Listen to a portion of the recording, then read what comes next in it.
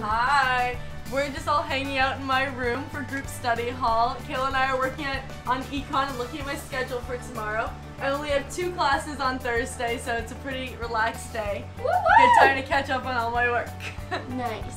And so what are you guys up to over here, Sarah and uh, Madeline? Just studying some Spanish. yeah, we're quizzing each other on Quizlet. Oh, nice. Um, I'm just working on some Spanish homework right now. So what are you guys doing after study hall tonight? After study hall tonight, we have a dorm party. Dorm party!